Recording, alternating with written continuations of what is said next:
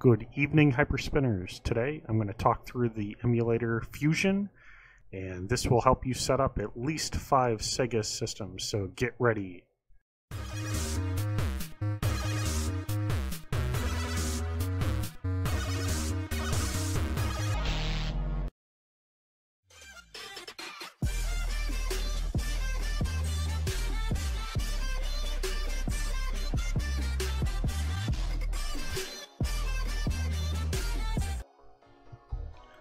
Right, guys. So let's uh, talk Fusion. Uh, this is a basically one-stop shop for many Sega systems, and uh, to kind of see the compatibility here, uh, if you go to your Hyperspin root folder, Rocket Launcher, Modules, and then Fusion, if you open up your Fusion Auto Hotkey, you'll see all of your supported systems. So you can see once you get this set up, you're going to have Sega 30, uh, 32X, Sega CD, Sega Game Gear, Sega Genesis, Sega Master System, and uh, yeah, the Sega SG 1000 and uh, SC 3000. So it, this is really your one-stop shop, guys. Um, and uh, yeah, let's get started. So in the module, uh, you can see the URL that you can get the uh, most compatible emulator version that Rocket Launcher supports, which is 3.64. So I'm going to go ahead and uh, slap this in the browser here. Um, you, you could use either URL, but I'll put the, uh, the links in the description below. And it'll take you to this site here. And what you'll do is just scroll down here at the very bottom and you'll select 3.64 and you'll download that.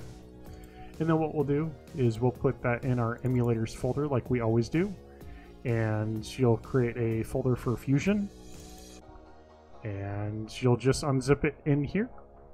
Uh, you will notice a couple extra things that are in here, uh, specifically for uh, Sega CD, uh, and uh, you know this will be a later video on add-ons. But this Sega Q Maker basically allows you to take some of the games that you get and uh, that have audio tracks I believe uh, Sonic uh, CD has some sound issues until you, uh, you know, create a cue file for that, so it looks at your tracks.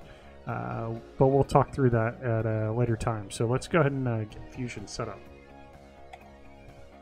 So once you've uh, unzipped the contents into your Fusion folder, what we're going to do is first, like always, we're going to open up HyperHQ and we are going to create these systems here. So as a guide, I'm just going to have this Fusion auto hotkey uh, up because I want to make sure I hit all these uh, systems uh, bases. And you'll go to your main menu wizard, you'll click the plus sign, and then you will click the, uh, the system has a sub wheel.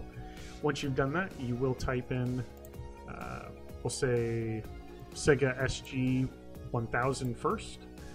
And the tabs that you see here, once you are congratulated for setting that up, you select Sega SG 1000 and you can see the setup that I have here. We just have the command line of uh, Hyperlaunch XE Sega SG 1000 and then the ROM name. Everything is disabled and disabled at the top here. Wheel, I've got the alpha uh, default based on my custom setup. Themes, I've always got the animated uh, default themes out and reload, and then I've got wheels only. Uh, it doesn't matter here, but in case you only have specific games uh, and specific wheels, that could be handy, but I've got the full uh, media set. And videos, that's your default. Uh, you don't need to worry about that. And your special art, if you have special art, you will modify this to your liking. And we'll move on to the next uh, setup here. So uh, that's the SG-1000. SegaMark is a different emulator here. I'm going to go down to, it looks like Sega Master System uh, next. And what you'll do is you'll push the plus sign again on the main menu wizard. You'll type in Sega Master System, create a subwheel, and it'll congratulate you and when you go back to the wheel settings, you will find this tab again. And what you'll do is fill this out based on what you see here. Hyper launch is false. Uh, disabled, or sorry, is true, and disabled is true. And you'll find the executable for Fusion, where you uh, unzipped your exe, and then you'll find the game paths. And then the extensions are going to be zip, comma, SMS. Again, this is uh, important only if you are looking forward to using uh, HyperXML Spin to create playlists. Uh, so might as well do the work now so you don't have to mess with it later. And uh, yeah, so zip and SMS are the extensions here. You're going to set up the exact same thing as what we were just talking about under wheel, navigation themes. We've got backgrounds and animated out. Video is just the standard default uh, folder for your media uh, system video. And then your special art that you're going to customize. So that knocks that system out. And we're going to scroll down here and we'll get the next uh, Sega bit here. So we got Sega Genesis. Again, you're going to push plus sign under main menu, and you will say uh, subwheel. And then you'll go to the wheel settings tab and select Sega Genesis. And under the emulators tab, you will have Hyperlaunch set, disabled set, and you'll have Fusion again, the game paths. You'll have uh, enabled for both these, and then the extensions are going to be zip and uh, comma gen and you'll set up all of these other tabs here based on everything that we've already done. You're going to keep everything uniform, so everything is going to be the same. We're going to scroll down and do the next one. Uh, so let's see here. It should be Sega 32 maybe. Oh, Sega Game Gear. So uh, you're going to push main menu wizard again, push the plus sign, say sub wheel, and then you're going to go to wheel settings again, you're going to click Sega Game Gear. You're going to say Hyper Launch, Disable, Fusion is the path. Uh, game is the location of your games. Enabled for both of these. Hidden win state, and your extensions are going to be zip and comma GG. You're going to update all of the tabs again based on everything that you've already done uh, for your other systems. And we're going to move on to the next one. So we're knocking these things out. Uh, Sega CD, um, I will have the caveat that uh, you will have to use uh, QMaker uh, to get some of your games to sound uh, or display sound. So just kind of keep that in mind. We'll talk through that uh, at a later time. But you're going to set that to hyper launch, disable, set fusion, and set the game paths, enable for both. And then your extensions are going to be ISO, comma bin, comma cue. Then you're going to update all of the other tabs based on the exact same settings that you have for all your other systems. We're going to breeze through that. Next, we've got the Sega 32. Uh, there we go, Sega 32. We're almost done here, guys. You're going to push the plus sign under main menu wizard. You're going to select executable, uh, or sorry, uh, subwheel and then you're going to go to wheel settings after you're congratulated. Select Sega 32X. And we're going to go to the emulator. We're going to hyper launch and disable. Fusion is the path. Set your game path. And then enable for both of these. And your extensions are zip, comma 32X. You're going to update all of these other tabs to match your other systems. And then you're going to move on. So I think there might be one more here. Uh, let's see. Sega Master System 32 CD. It looks like no. I think that's it, guys. So the Sega Saturn is a different emulator, so uh, we're gonna not cover that one in this video. And Sega Dreamcast is also a different emulator. So yeah, we have uh, all of the Sega systems uh, under this Fusion uh, setup in Hyperspin in terms of the media folders. So uh, we're golden there. So what I'm going to do is uh, X out of HyperHQ. And then what I'm going to do is invite you to Hyperspin and go to the download section under uh, console systems or handhelds, and you'll be able to find a lot of the media already available to you. If it's not uh, on this site, then you should check out the FTP uh, for Platinum members only. And uh, if you don't have a platinum membership, then definitely check out my giveaway that's uh, expiring on uh, September 1st. You have a chance of getting a Emu or a EmuMovies uh, supporting member uh, valued at 60 bucks and a Hyperspin uh, Platinum membership valued at 50 bucks, all for free. All you got to be is a subscriber and uh, yeah, follow me on Twitter basically. So there's really not a whole lot to do. Uh, so next week, that's the media. Uh, what we're going to do is also go to Hyperlist to get all of the XML. So you're just going to scroll down and find your Sega systems, and then click the XML uh, button here to get those uh, downloads. And you're going to drop those uh, XML files in the database folder. You'll find the system that you just created because the HyperHQ uh, creates that stuff for you. So you would go to Sega Genesis and drop the XML file in this folder. And what we're going to do next is once you've downloaded all uh, all of the XMLs and you've got your media, uh, your media will go under media. You'll find your system, Sega Genesis uh, is an example. You'll put in your images, you'll put in your box art, um, or your cart arts. Chances are in artwork 3 or artwork 4, depending on what your theme uh, displays. And uh, yeah, and then in your wheel art, of course, and your themes, your videos. Uh, so let, us kind of move on here. So once you've done that, then what we're going to do is we're going to go to Rocket Launcher UI and we're going to set up Fusion as a global emulator.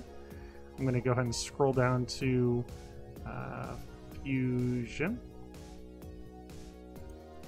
And I'm under Global. I'm under the Emulator tab. And if you don't see this, go ahead and push the plus sign and uh, you'll find a window that looks like this. I just double click that. You'll type in Fusion if it's not already there. You'll find the path of your Fusion emulator and you'll use the magnifying glass. Your ROM extension is 7Z, SG, GG, SMS, Gen, 32X, MD, ISO, CUE, bin, zip, IMG, CCD. So there's quite a bit on here, uh, but it covers literally like seven or eight systems. Uh, the module is going to be Fusion, and you're going to close that out. Next, you're going to go to each one of those systems that we just set up here. So uh, this should be uh, relatively quick, guys, but let's uh, let's do this. So your first system was uh, Sega SG 1000. Under the settings folder, what I've got here, I'm going to branch this out here so it's cleaner here for you. I've got everything set to uh, global settings. If you haven't already, check out my Rocket Launcher uh, video that shows you what these global settings mean. Uh, but I've got 7Z set to true and I've got skip checks set to false. Everything else is set to global. I'm going to go to fade general next. Looks like everything's global, so you're good there. And we're going to check bezels. So I've got everything set to global here, so that means it will display a bezel. We're going to move on to the emulators tab. So you're going to find the path of your games, hit the plus sign. Default emulator, you're going to select Fusion from the mag magnifying glass. It also looks like I tried uh, setting up uh, blueMSX, and uh, that is an alternative uh, emulator. Uh, you can set that up now while you're here, or you can wait till that video uh, rises. Um, so that is your Sega SG. So what we're going to do is we're going to move on to the next system here. And we are going to go to Sega Master System. Again, you're going to, under the emulator tab, we've got the path to your games, and we've got the emulator set to Fusion. Then we've got settings. We are in the bezel tab.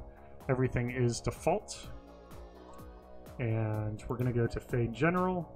Looks like everything is set to default. Uh, use global, making things real easy for you guys to set up. The skip checks is set to false, it looks like, in the main settings tab. And it looks like... Yep, everything's set to global, so Sega Master System is uh, a piece of cake uh, to set up there. And let's see. So we've got Sega CD, or we'll, we'll do Sega. We'll just work down from the list here so we don't miss anything. Uh, so we got Sega 32. Everything's set to global, it looks like. And skip checks is set to false. Then we've got uh, Fade General. We've got all that set to global, so we're good there. Bezels are set to global. In the emulator tab, we've got your game path, and then we've got Fusion as the default. You can see there it's a lot of redundancy, guys, but uh, I want to be thorough here and show you each one of these tabs. Uh, under Sega CD, we're going to go to Settings. We're going to go to Main Settings. Everything is set to global and it looks like 7z is set to true. And then the skip checks is set to false. Under fade general it looks like everything's set to global default. Bezel is set to global and then emulators I've got set to fusion. You're also going to notice I've got a game path for hack games. Uh, this will be later covered in a uh, later video uh, but You've got your game path uh, there, and you're going to move on to Sega Game Gear. Um, next, we're going to go to Settings, Main Settings. Everything looks like it's default to global, and skip checks is set to false. We're going to go to Fade General. Everything's set to global. Bezels are set to global, so you're good there. And the default emulator is Fusion and uh, your game path you can see a lot of redundancy, guys. Uh, so Sega Genesis, set to Fusion, that's all set. Um, bezels, uh, uh, use global. Let's see. Uh, Sega Genesis, it looks like I've got the hide the front end set to true. Uh, everything else looks to be set to global. And skip checks is set to false.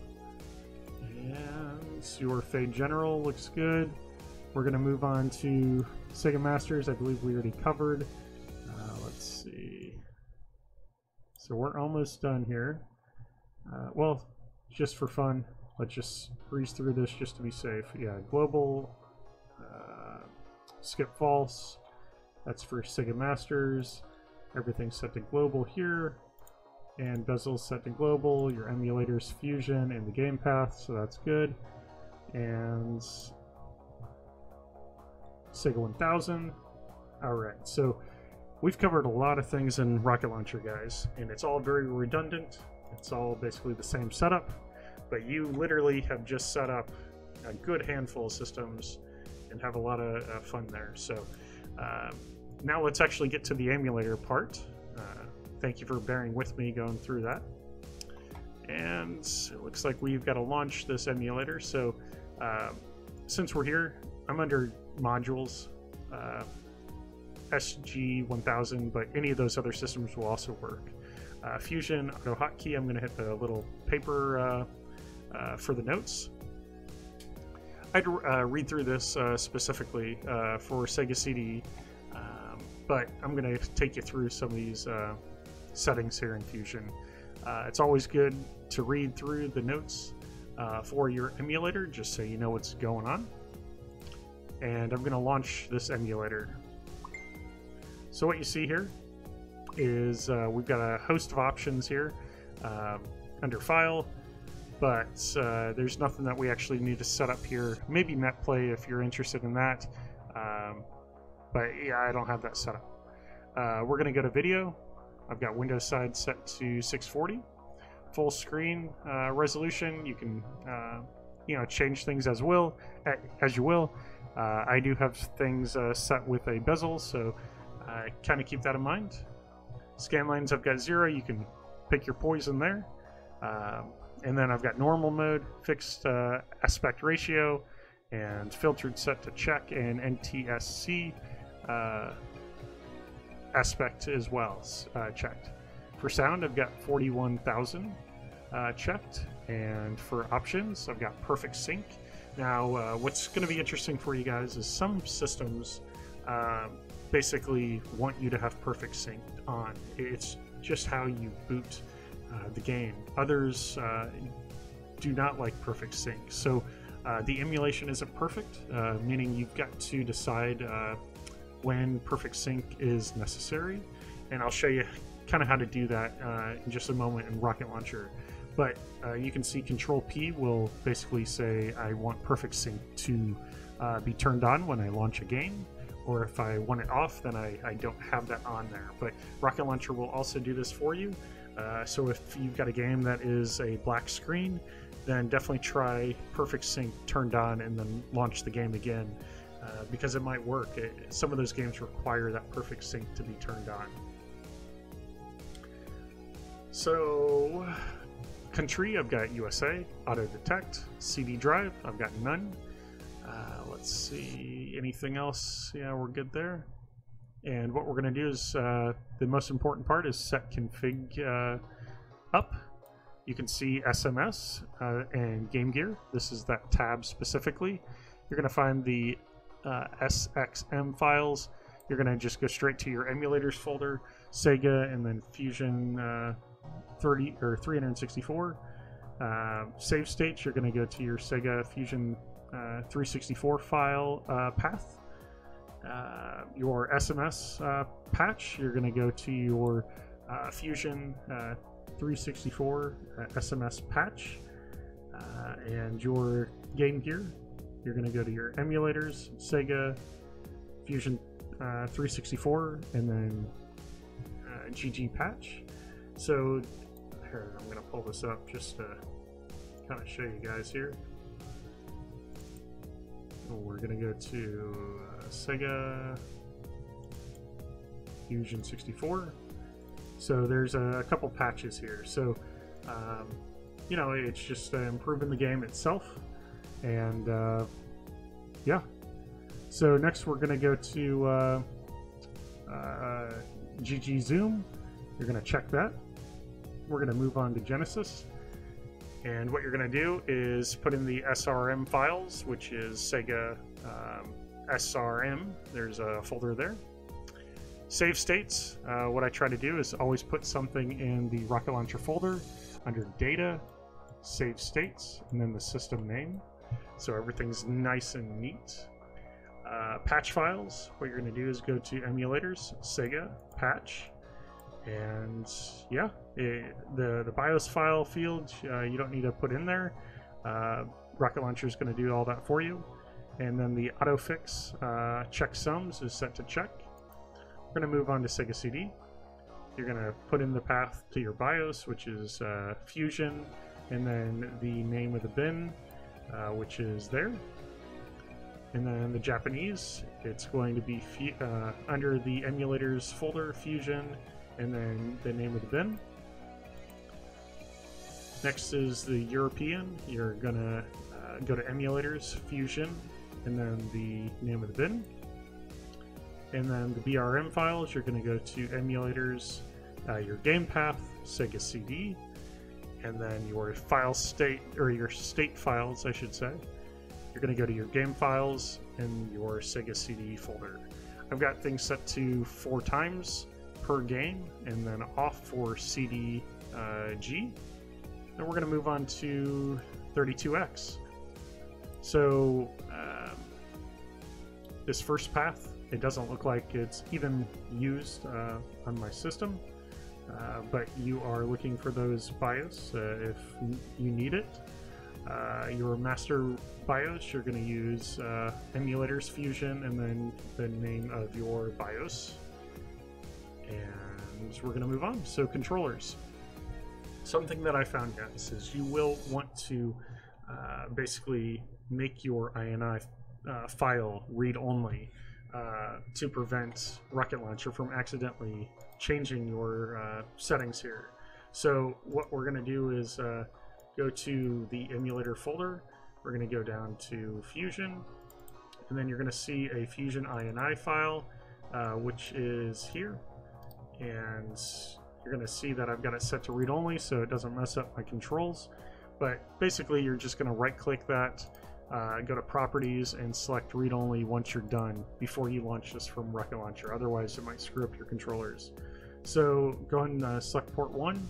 I've got 6 button pad, and then use keyboard. You push the define button, and then you just go through and press the keys that you want it to be set up as. Then you're going to go to port 2. You're going to do the exact same thing for player 2. You're going to select keyboard and then define. You're going to click all the buttons for your uh, system for uh, Genesis 32X and Sega CD. And then you're going to do the same thing for the Master System and Game Gear. So you're going to click the controller pad, keyboard, press define, select your keys. Do that for port 2 as well. And then if you've got light guns, check the light gun cursor here. Uh, and then we've got uh, the extras. So if you want screenshots, just go to your Sega Fusion 36 or 364 folder, uh, and that is where your screenshots will go. And I've got TGA set up and corrected set up as well. And that is it, guys. So I know that was a mouthful. I try to talk a little faster than usual just so we can get it all done in a short period of time. But you just got uh, yourself served a good handful of uh, systems. So I hope that helps you guys, and uh, we'll catch you in the next video. Oh, humble apologies, guys. I did forget to show you one item uh, around Perfect Sync. So uh, once you go to modules, a good example here is uh, Sega Genesis. If you go to modules and then Fusion, and then go to your little edit global module setting icon with the little paper uh, orange header, I'm going to press that, and you're going to see a couple options here. And um, basically, uh, everything's set to default, and Perfect Sync is also set to default. Uh, but just something to kind of keep in mind if you go to the ROM settings folder. And I'm not going to go through each one of the uh, systems uh, in general here because, uh, you know, it, it's all going to look the same. You, you just got to ultimately get the games that you want to launch via Perfect Sync here. You just push the plus sign here, and a couple of good examples of Perfect Sync needing to be uh, set to true is uh, Batman and Robin, uh, Bram Dracula, Cliffhanger. Uh, you'll just kind of have to experiment, at, you know, as you go. So if you run into a black screen, go ahead and just add that game to uh, your settings here by pushing the plus sign and selecting the game and selecting to true. Uh, let's see here. So let me just see those notes again here, and we'll just look through the system. Yeah, so Sega CD is a good example here. So I'm going to Sega CD modules, Fusion, and then we're going to the modules uh, setting tab here, and everything's set to default. You can see the exact same uh, setup uh, that we were just talking about. If you go to ROM settings again, push the plus sign and find your game that needs to run in perfect sync, you're going to select, uh, you know, Battle Corps, for example, and then you're going to say select sync set to true. Uh, so that's it uh, for real, guys, this time, and uh, we'll catch you next time.